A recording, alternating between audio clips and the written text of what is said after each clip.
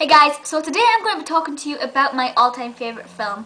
Now I may have mentioned this in other videos, um, I think I have, so if you've seen them you'll know that my all-time favourite film is The Lion King.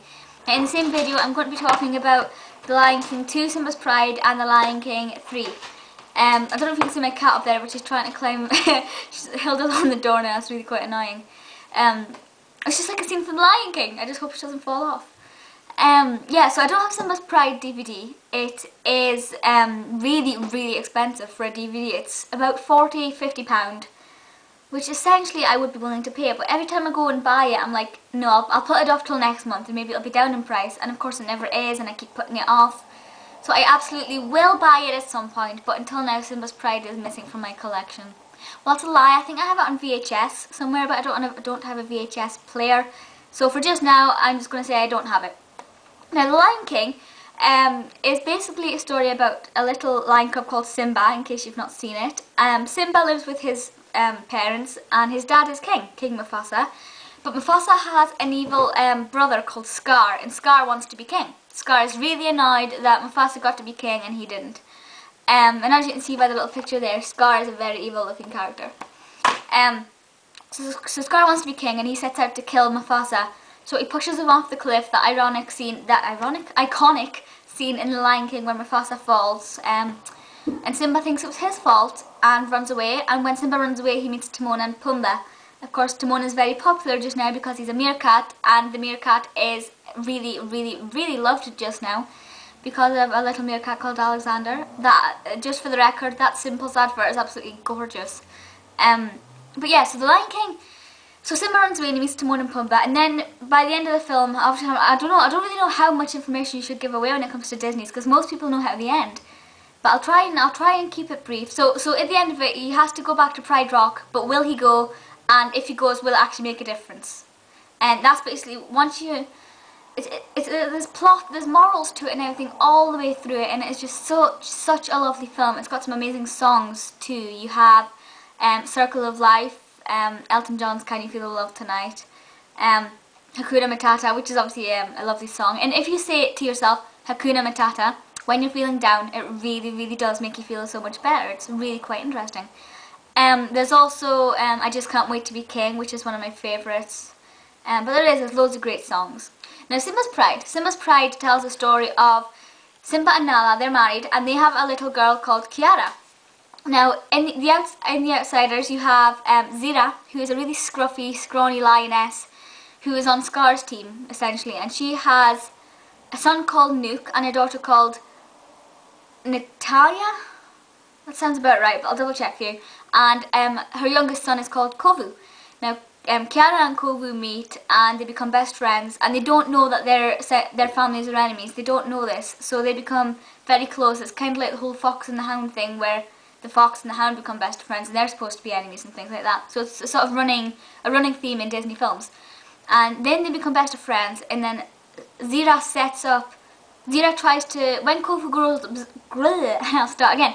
When Kovu tries when Kovu grows up, seriously what is wrong with me today? When Kovu grows up, Zira wants to wants him to kill Kiara. Of course he's not gonna. Um so he's Kovu's got to try and convince Simba that he's not gonna hurt Kiara, but obviously Simba's trying to keep Kiara away from Kovu. And the whole story is basically Kiara and Kovu trying to stay together and trying to get their families to actually speak to one another instead of fighting. Um, again, it's fantastic. Um, some great songs. Upendi is probably um, my favourite. It's very upbeat, very lively. Um, but you also have things like We Are One. Um, that's the only two that come to mind. But they are really great um, songs as well, and they're perfect for singing along to. Now, Lion King 3, Hakuna Matata, um, is basically The Lion King, but from Timon and Pumbaa's point of view. Um, Timon and Pumbaa were actually really successful characters. They had their own um, series on the Disney Channel and things. There's loads of merchandise and things, and I mean, they are cute characters. Um, so basically, it, it's The Lion King from, in many ways, from Timon's point of view because you've got the whole meerkat family, and they sing a really great song called Digga Tunnah, which I love. Um, Go and see if you can find that on YouTube, and it's just just sensational. I love Digga Tunnah song. Um, I'm actually singing in my head just now. It's lovely. Um, so that's it's basically like what happened, what what Timon and Pumbaa were like before they met Simba, and how they watched Simba and the lions and things do what they did from a back seat. And it's really quite interesting.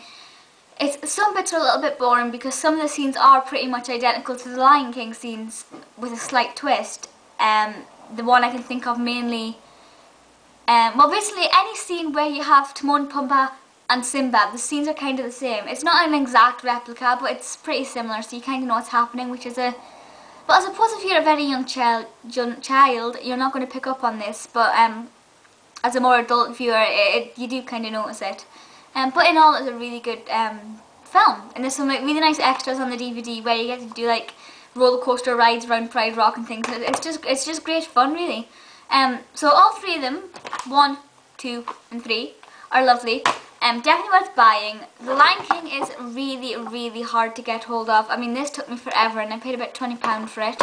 Simba's Pride, like I said, is almost impossible. So if you have it, you are very, very, very lucky. And I will get it sometime. I promised myself I will. This one is a little bit easier to get hold of. You can get it for about £10, give or take. Um, definitely worth buying as well if you're a Lion King fan.